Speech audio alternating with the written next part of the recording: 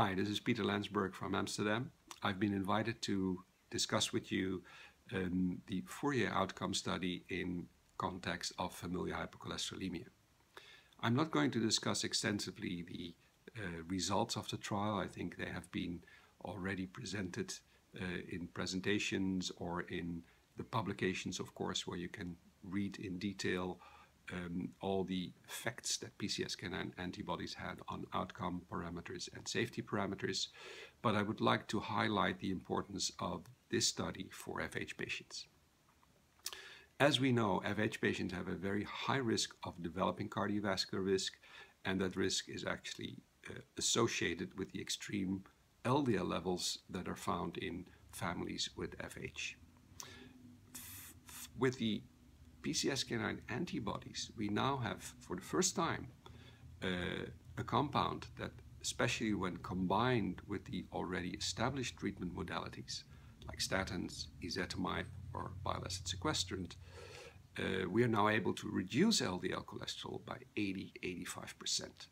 Now, for FH patients that have LDL levels more than 250 or 350, uh, this would allow them to reach guideline dictated targets of say primary prevention less than 100 and secondary prevention less than 70.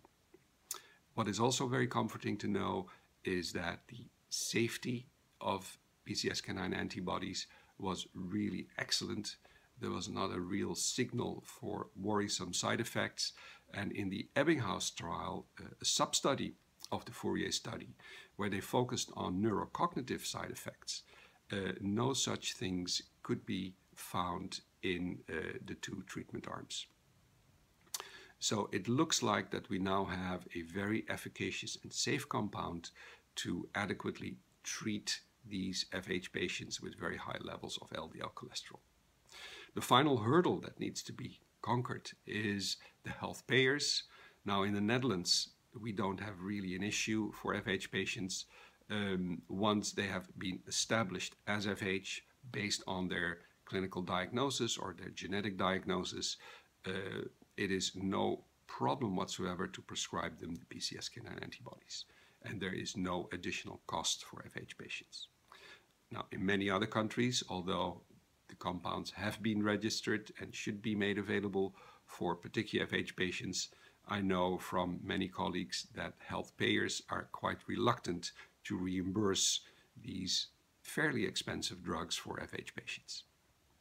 With the Fourier outcome study, we now have evidence-based data that shows not only lipid cosmetics, but also hard clinical endpoint reduction. So it will become probably part of a new guideline development um, based on the lower targets that have been reached and based on the fact that we now have a new compound that not only has efficacy and safety data, but also endpoint data. So hopefully this will also make it easier for FH patients to have access to these life-saving drugs in the near future. Thank you very much.